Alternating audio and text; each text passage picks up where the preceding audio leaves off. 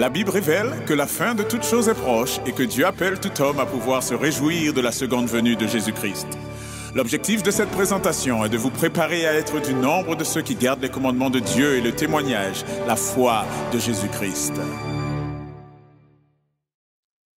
Bonjour à toutes et à tous et bienvenue pour ce nouveau numéro de notre série de présentations sur les signes des temps.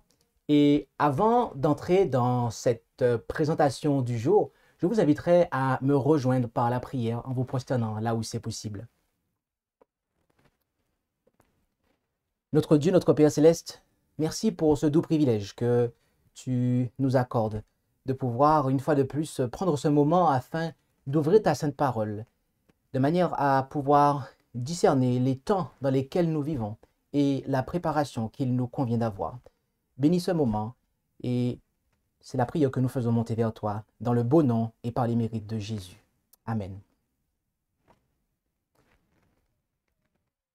Aujourd'hui, nous allons considérer ensemble un sujet lequel a pour titre Guerre en Ukraine, alliance Russie, Chine, Inde, un temps de trouble. Et il s'agira de notre septième numéro de notre cinquième année sur les signes des temps.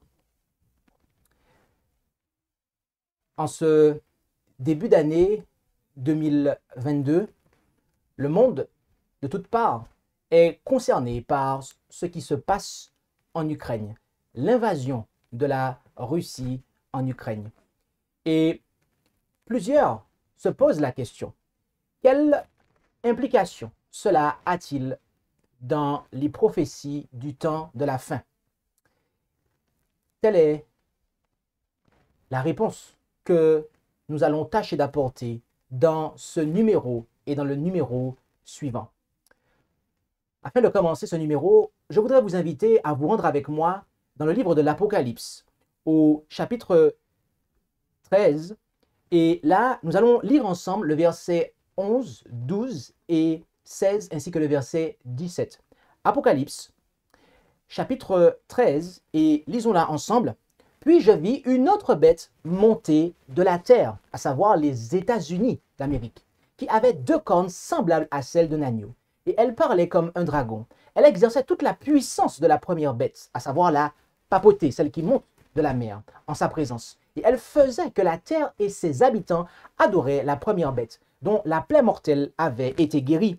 Et elle faisait que tous, petits et grands, riches et pauvres, libres et esclaves, prenaient une marque à la main droite ou au front et personne ne pouvait acheter ni vendre, ni vendre s'il n'avait la marque ou le nom de la bête ou le nombre de son nom.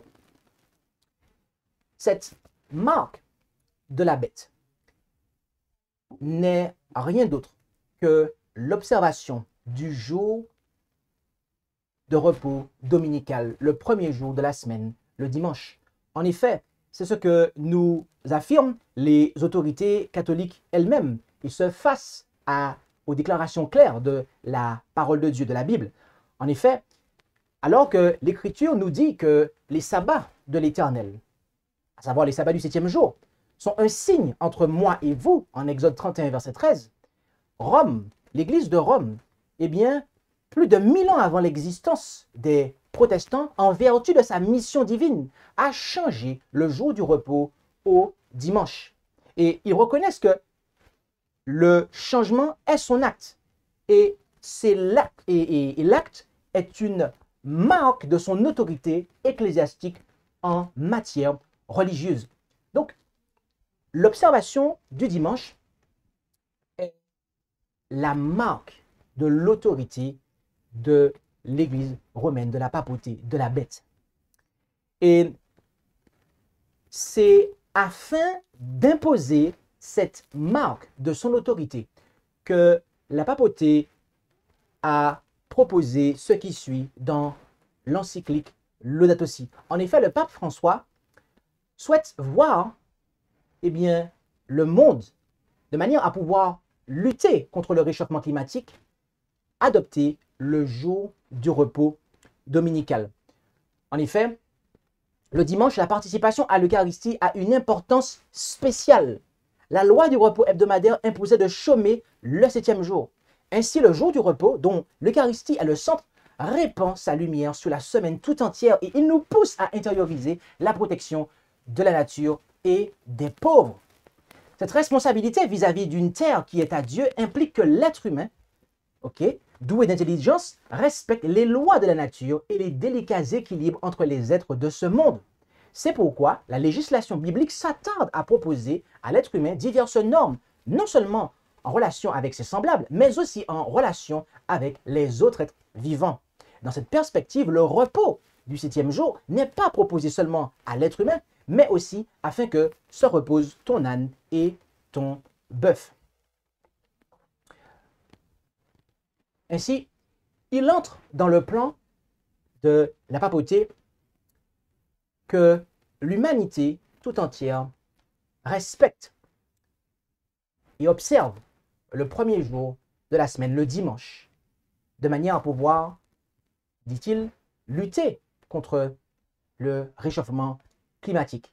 Et de manière intéressante, c'est ce que les États-Unis d'Amérique, tout particulièrement sous la mandature du président Joe Biden, eh ont comme mission, d'après la prophétie, d'accomplir. Et en effet, Joe Biden s'est donné pour objectif de faire respecter et de mettre en avant et de pousser au respect de l'encyclique Laudato Si. Comme on peut le voir dans son engagement de campagne, dans son encyclique Laudato Si, le pape François a demandé à la communauté mondiale de sensibiliser le public à la crise croissante du changement climatique. Le plan de Dieu s'attaquera au changement climatique et à la pollution pour protéger nos communautés. Chaque dollar dépensé pour la reconstruction des infrastructures sera utilisé pour prévenir, réduire et résister au changement climatique. Ainsi, nous voyons que dans ces temps dans lesquels nous vivons, eh bien, que cette prophétie d'Apocalypse 13 est en marche.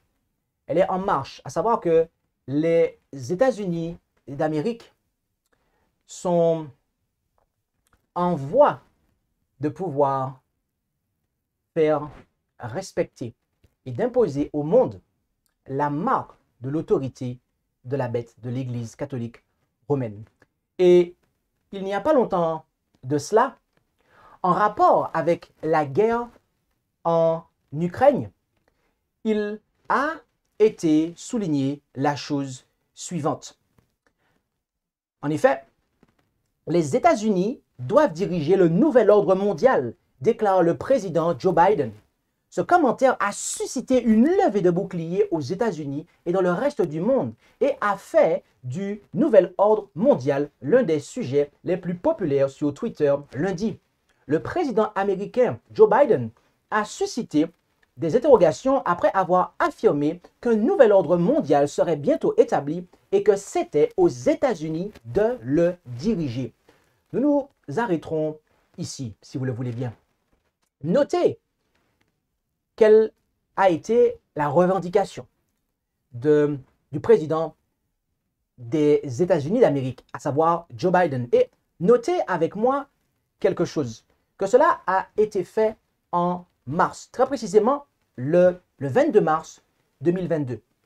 Et cette volonté du président des États-Unis d'Amérique est ce qui a suscité la, guerre en Ukraine, l'offensive des Russes en Ukraine.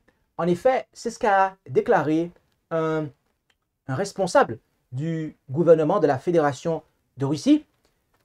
Le ministre russe des Affaires étrangères déclare que la guerre entre la Russie et l'Ukraine a pour but de mettre fin à la domination mondiale des États-Unis et à l'expansion de l'OTAN.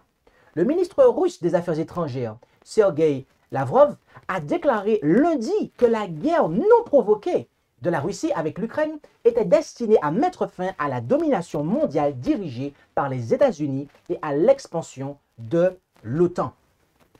Notez la date à laquelle cela a été déclaré.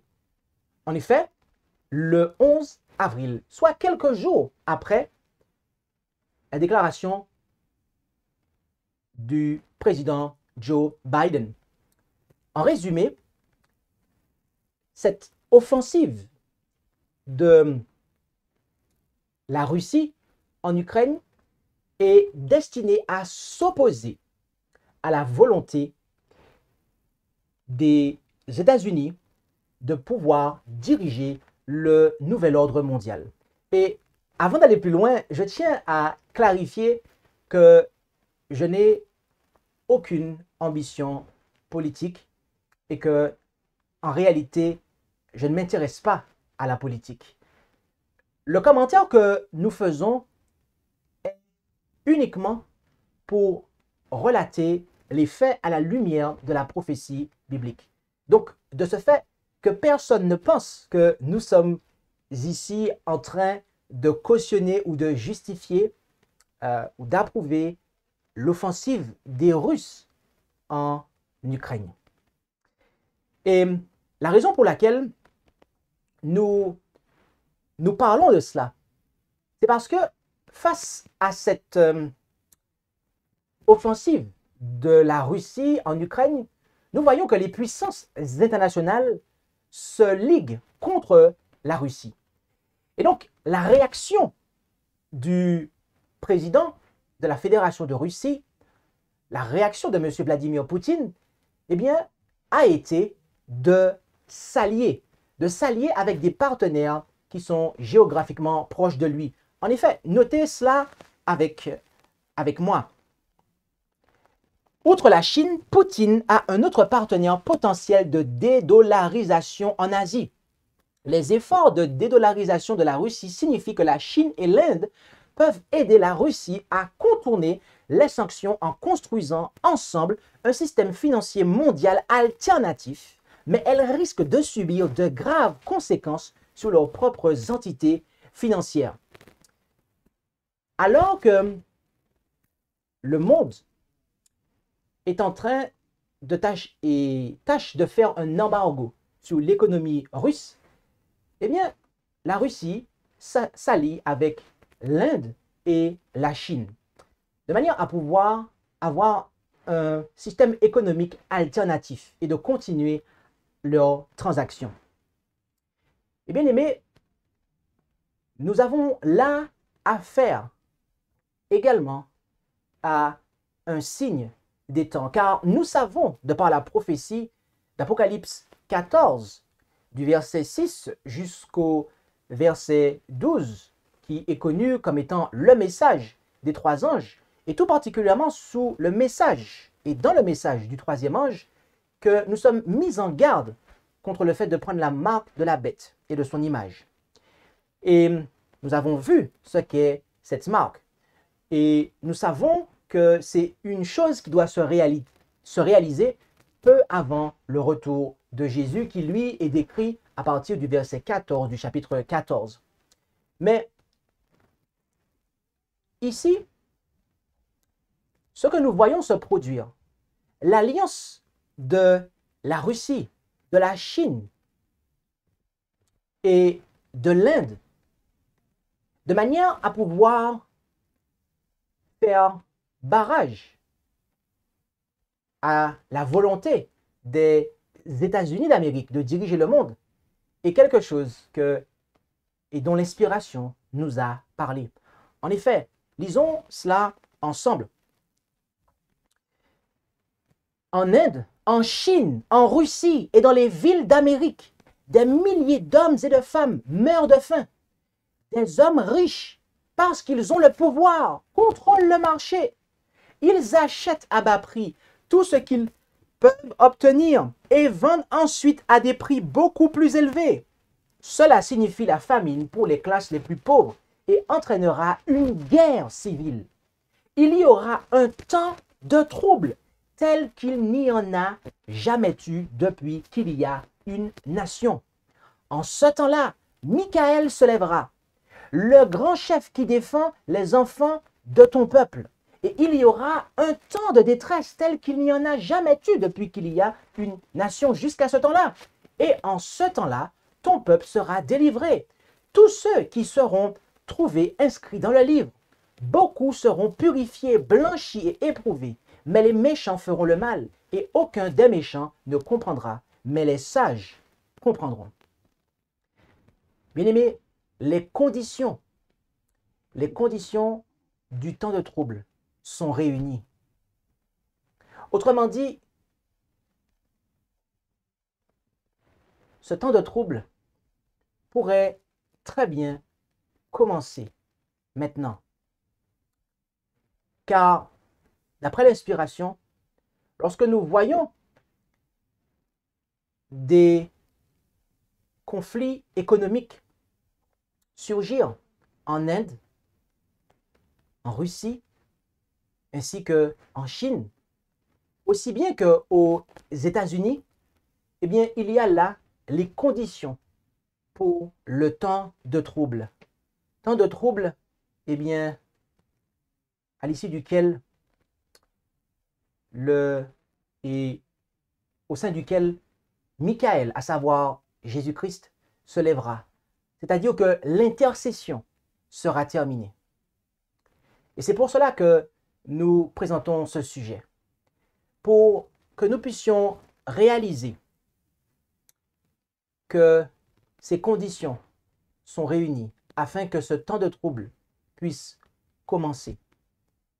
La question que nous devons nous poser tout un chacun est, sommes-nous sages afin de pouvoir comprendre de manière à ce que nous soyons purifiés et blanchis Telle est la prière que je voudrais formuler. Prions ensemble. Notre Dieu, notre Père céleste, tu nous montres que il y a cette euh, marque de la bête, cette observation du dimanche que l'on désire imposer à ce monde. Et tu nous as annoncé les puissances qui auront un rôle à jouer. Et aussi, nous voyons que les conditions du temps de trouble sont réunies. Et tu nous invites à pouvoir être prêts.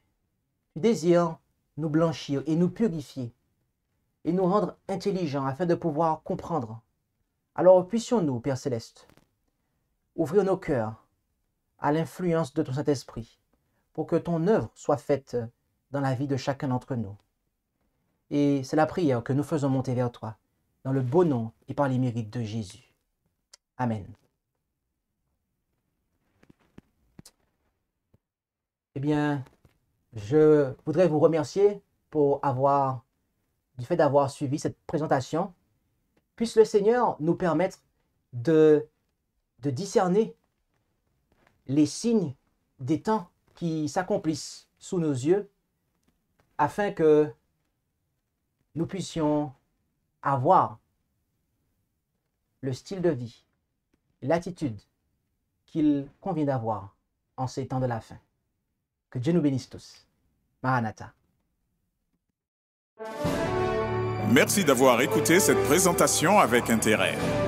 Pour plus d'informations, consultez notre site internet lereste.org et suivez-nous sur Facebook ainsi que sur YouTube à @lereste. Vous pouvez aussi nous contacter par email à info@lereste.org ou par téléphone au plus 33 6 12 60 13 69.